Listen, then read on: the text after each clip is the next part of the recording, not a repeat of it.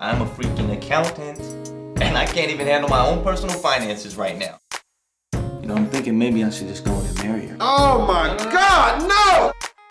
You be front everything. You front food, wine, car payments, and you pay your rent last month. Doesn't make me a punk either. I mean, we're getting to the point where we really got to consider it an option. Only option I want is which one of my starting five I'ma activate tonight. I take women's out. What, through the drive-through? Please! It's gonna be a trip without you here. This new roommate better be as cool as you. Is this one of your girls, man? I'm about to ask you the same thing. No, uh-uh. No, you women, you control everything and you know it. Let me tell you why it's so hard to live with a woman. Yo, come on, man. I'm gonna be late for work, man. You smell like George Clinton. Oh, hell no. I'm tired of hair.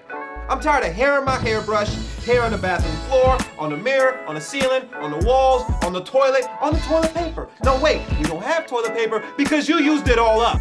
That sounds pretty encouraging.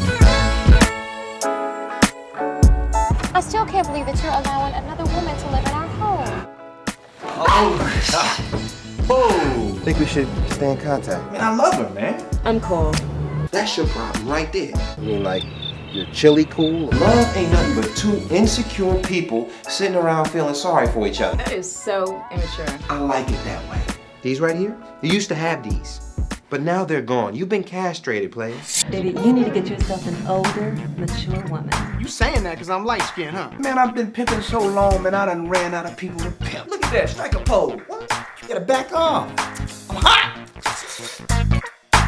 Right, unconditional, unadulterated. Man, y'all got issues.